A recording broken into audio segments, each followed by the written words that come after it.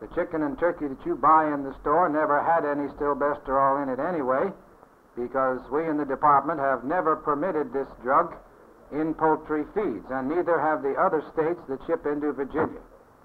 This fuss has been about a special breed of chicken that's given shots of this hormone to fatten it up and is sold as a capon or a caponette.